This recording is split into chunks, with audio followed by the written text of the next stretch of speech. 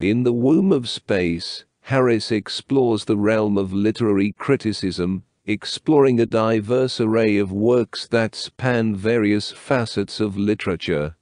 Among them are pieces rooted in the North American continent, such as Poe's Arthur Gordon Pym, Faulkner's Intruder in the Dust, and Ralph Ellison's Invisible Man. Concurrently, other works, like Jean Rhys's Wide Sargasso Sea and E.K. Brathwaite's poems are deeply embedded in the Caribbean experience. Harris's distinctive approach to art is evident in his examination of Christopher Okigbo's fusion of T.S. Eliot and African tradition, the decadent mood of Gormenghast, and Juan Rulfo's Pedro Paramo. The rejection of realism, as perceived through a mirror-like reflection of the subject, is a central tenet of Harris's perspective. In the Caribbean context, marked by historical color prejudices and entrenched ethnic identities, Harris contends that realism merely reinforces polarization. He envisions literature as an art form that seeks the richness of otherness, rather than perpetuating biases. Harris confronts the challenges of transplantation and exile prevalent in the 19th and 20th centuries, particularly in the Caribbean. He perceives these experiences not solely as negative uprooting, but as opportunities to comprehend the potentialities of art. In a region plagued by entrenched Philistinism among the ruling classes, Harris asserts that value should not solely derive from foreign sources, challenging the expatriation of creative minds and the consumption of superficial novels.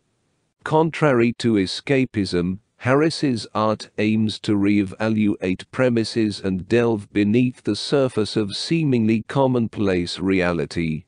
He sees the imagination constrained by convention and ideology, particularly in contemporary African literature.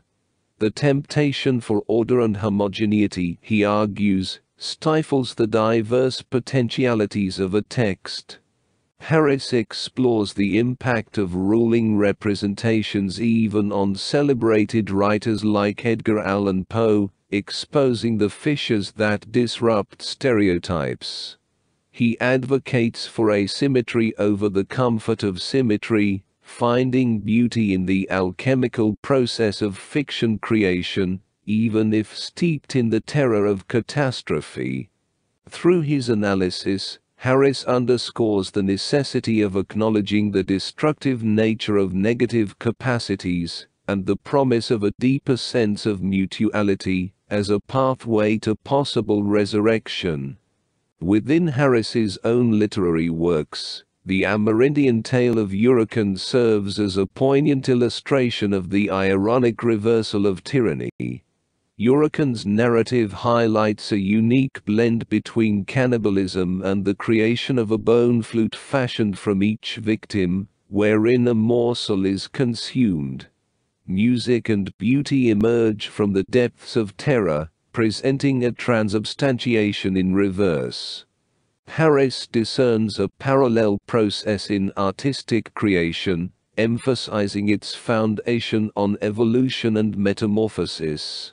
He posits that the rebirth of imagination occurs only after the fissure in the hubris of totality and the breakdown of absolute self-sufficient representations.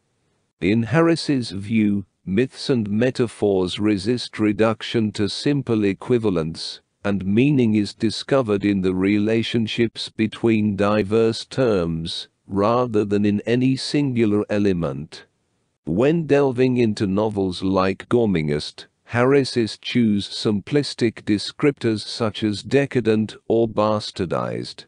He challenges these terms, which implicitly harken back to conquistadorial empires where institutions are viewed as perfect and static, in this context, any deviation is perceived as negative or the intrusion of alien elements into a supposedly pure homogeneous structure.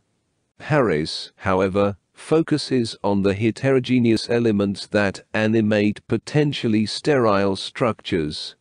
Even deprivation, he contends, harbors extraordinary potential.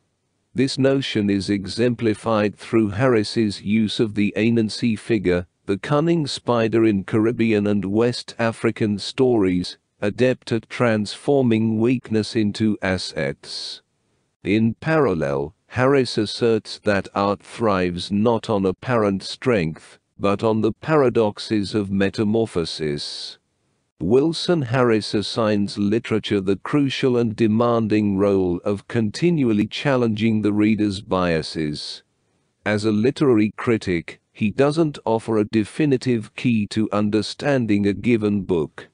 Instead, he engages in a profound dialogue with the intricacies of the work, urging a revision of fixed definitions and a quest for more dynamic concepts. His language reflects a desire for fluidity of images, akin to what one might expect from a poet.